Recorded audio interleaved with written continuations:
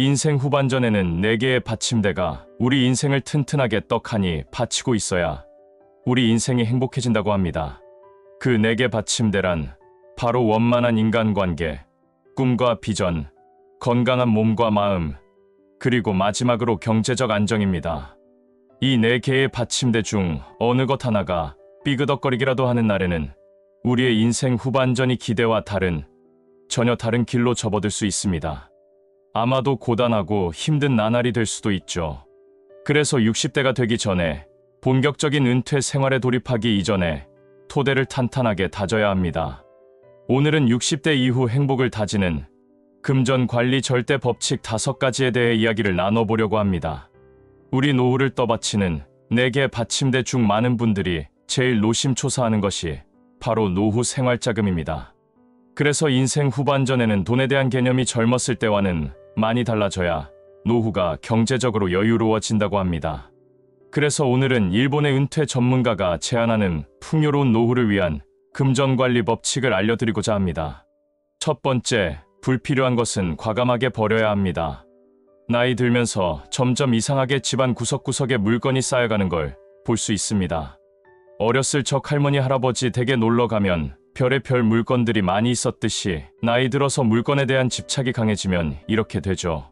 그리고 또 조금만 놔두면 그 중에 누구라도 그 한 명이 꼭 쓸 것 같다는 생각에 버리지 못합니다. 내 아들, 딸이 아니라면 손자, 손녀라도 쓸 것 같기 때문이죠. 하지만 50대부터는 집안의 불필요한 것들을 대폭 정리해서 우리 인생을 다운사이징 해야 합니다.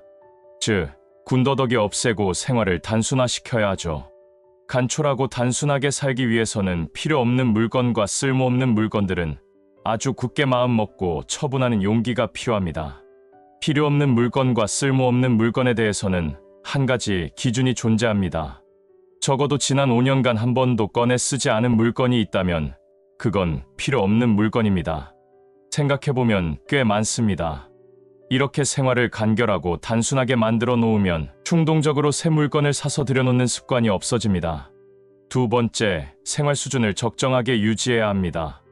50대는 가정경제 수입의 최고점을 찍는 시기입니다. 50대 직장인이 은퇴 전까지 그 회사에서 보내는 기간이 아마도 경제적으로 제일 여유로운 시기죠. 또 바로 이 기간이 생활 수준이 올라가는 그 기간과 맞물립니다. 외식도 잦아지고 모임도 많아지고 레저 생활에 적잖이 돈이 들어가죠. 품위 유지비가 참 많이 듭니다. 한국에서 골프 한 번 치러 나가려면 엄청난 돈이 필요함에도 불구하고 많이 칩니다. 한 번 올라간 생활 수준이 다시 내려가기란 좀 채 쉽지 않습니다.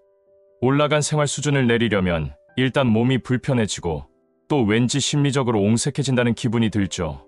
지금 내 나이에 그것까지 아끼고 살아야 되냐라는 생각마저 들곤 합니다. 몸에 배어버린 습성을 바꾸기란 여간 어려운 게 아니라는 것을 다들 아실 겁니다.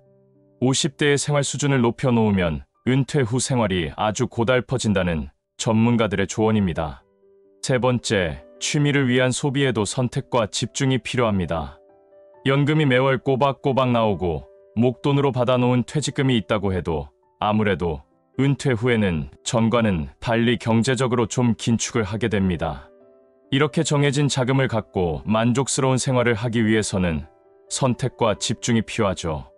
자신이 좋아하는 것에는 비용이 좀 들더라도 과감하게 소비를 하고 나머지는 허투루 돈이 새어나가지 않도록 아주 검소한 생활을 하는 식으로 집중과 선택을 하는 겁니다.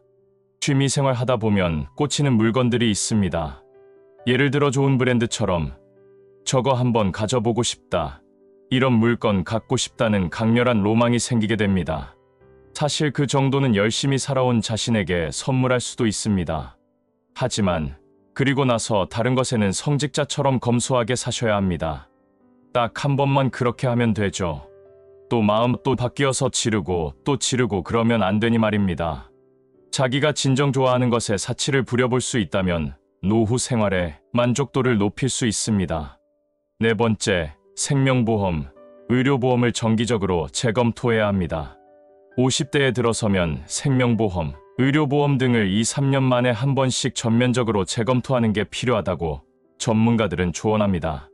대부분 우리가 들었던 보험을 깨고 새로운 보험 영업사원을 만나게 될 때 보험을 갈아탑니다.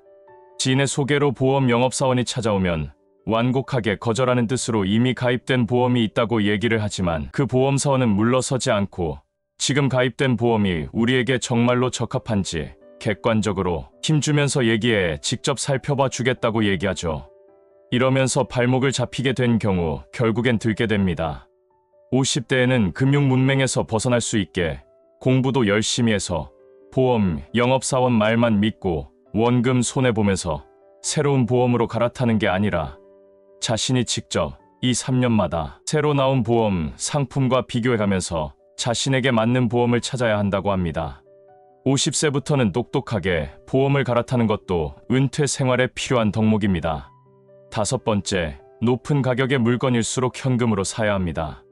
외상이면 소도 잡아먹는다는 속담이 있듯이 외상을 부추기는 게 바로 신용카드겠습니다. 돈으로 사람 차별 많이 하는 그 대한민국에서 사람 가리지 않고 제일 인심 후한 게 신용카드죠. 신용카드의 VIP라고 딱 찍혀 나오면 내가 금융권으로부터 귀한 대접을 받는구나 하는 우쭐해지기도 하고 신용한도 늘려준다는 메시지를 받으면 기분도 좋아지게 됩니다. 하지만 이것들은 결국 다 우리 돈 빼먹겠다는 속셈이죠. 한도를 늘려주겠다는 연락을 받으면 기분 좋아할 게 아니라 신용카드를 많이 쓰진 않았는지 문제가 있지는 않은지 살펴보는 것이 우선입니다. 신용카드가 없다면 우리의 충동 구매도 많이 줄어듭니다. 신용카드가 있으니까 당장 돈이 없어도 일단 사고 보기 때문이죠. 계획적인 구매가 몸에 배도록 하기 위해서는 특히 고가의 물건은 현금으로 주고 산다는 원칙을 세우고 실천하면 좋습니다. 시대에 역행하는 것 같이 보이지만 이렇게 하면 값 나가는 물건을 사고 싶을 때 한두 번이라도 더 깊게 고민하게 되고 결정할 수 있을 테니까 허투루 돈을 쓰는 그런 충동 구매하는 실수를 범하지 않도록 해준다고 합니다. 50대가 넘어서면 하루하루가 너무 빨리 지나가는 것 같습니다. 사람의 인생 속도는 10대에는 시속 10km, 20대에는 시속 20km, 30대에는 시속 30km로 달린다고 합니다. 50대가 넘으면 젊었을 적에 느꼈던 시간의 속도와는 차원이 다르죠. 그렇기에 우리는 사실 돈을 허투루 쓰지 않는 것도 중요하지만 무엇보다 시간을 허투루 쓰지 않는 것이 더 중요할 수 있습니다.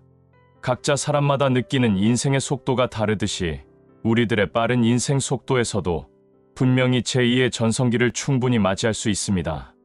오늘 영상을 보신 모든 분들의 인생 후반전은 모두 인생의 전성기로 행복하시길 진심으로 바라겠습니다.